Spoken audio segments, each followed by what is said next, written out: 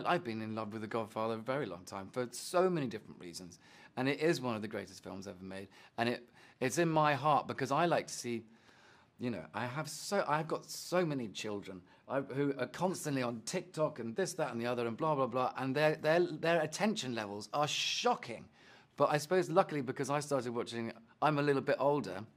Um, I love I love something that unfolds itself at a slower pace and takes its time and sets the story up and you know and and has texture and nuance and and so The Godfather for me is just it's an absolute dream. It's also three hours, you know, of, of just sheer joy.